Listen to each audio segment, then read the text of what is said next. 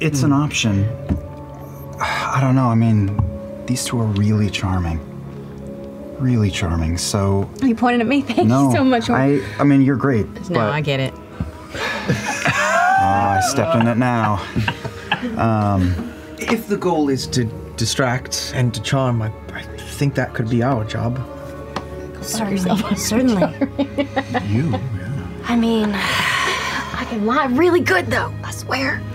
I feel like that I know. I'm wondering if I'm wondering if Imogen should be your date. No, no, no, no, no. You should definitely be his date. Because I feel like If you don't wanna- weirdly if you don't want to be my date, that's fine. It doesn't. No, I would love to. I absolutely would love to. Sure. I'm better at background. I just I just I realize I'm I'm not as good at lying as I thought. Which is weird because I do it all the time.